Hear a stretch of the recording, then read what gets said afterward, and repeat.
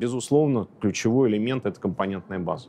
И вся, если вы посмотрите программа развития технологий в Российской Федерации, которую сейчас разрабатывает Минпромторг, эта программа направлена в первую очередь именно на компонентную базу. Что для авиастроения, что для судостроения, что для автопроизводства, что для нашего ЖД-транспорта. Поэтому вот здесь, безусловно, поле огромное.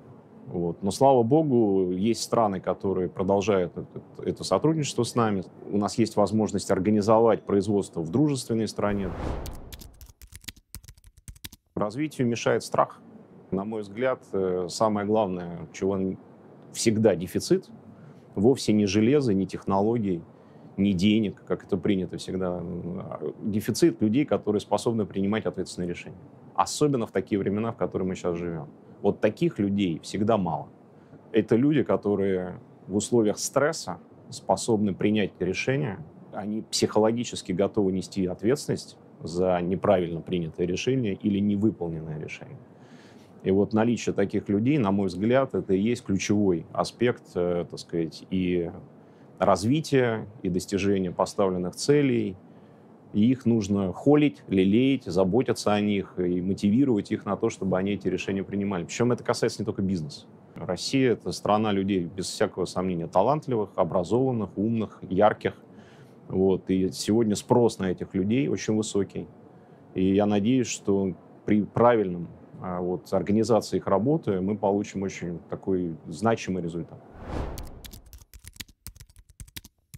Точки роста — это технология, безусловно, это развитие технологии. Мы ее никогда не останавливали, поэтому, мне кажется, мы достаточно легко прошли вот э, наиболее такие острые э, времена э, введения соответствующих ограничений.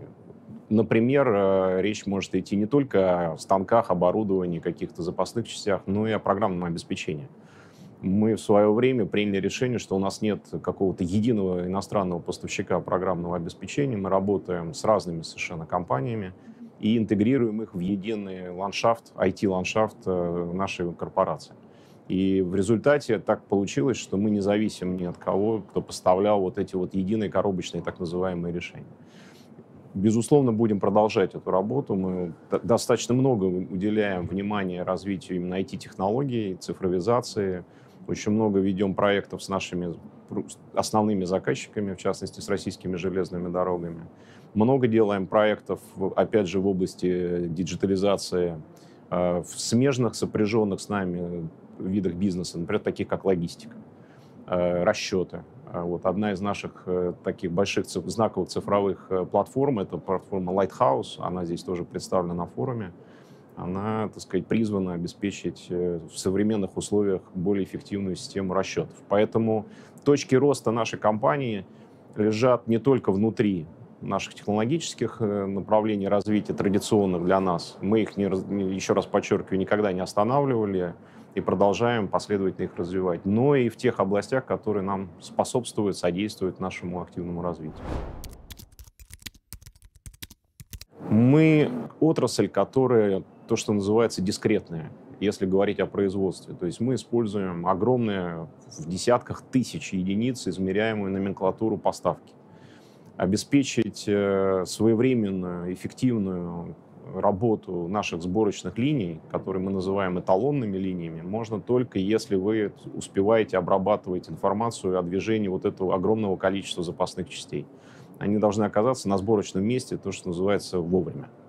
Это первое направление нашей работы. Второе направление — это вся аналитика, связанная со статистикой отказов, со статистикой эффективности эксплуатации нашего оборудования. Потому что наши заказчики в первую очередь поэтому судят о том, насколько мы эффективны.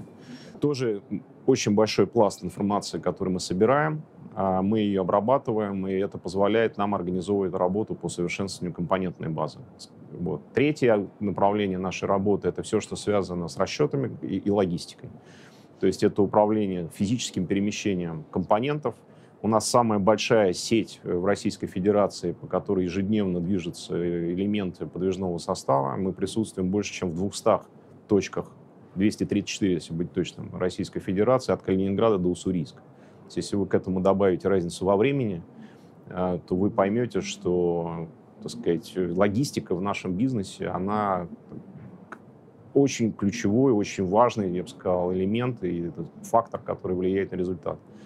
Вот, поэтому тоже необходимо внедрять цифровые технологии для того, чтобы обеспечивать ее эффективную работу.